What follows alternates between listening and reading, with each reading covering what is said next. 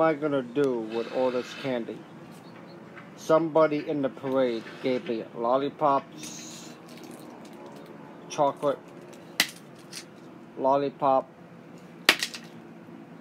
and a glow stick. What am I gonna do with all this?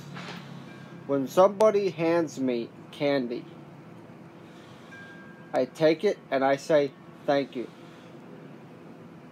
I'm not gonna eat it because their hands have been touching it, and I don't know if the candy is clean.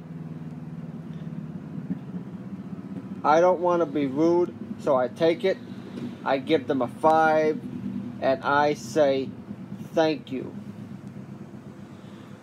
But you don't know if that person washed their hands.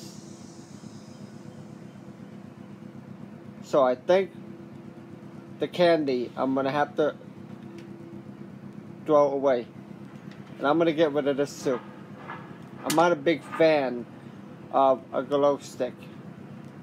Now we did the parade last night, which the parade was fun.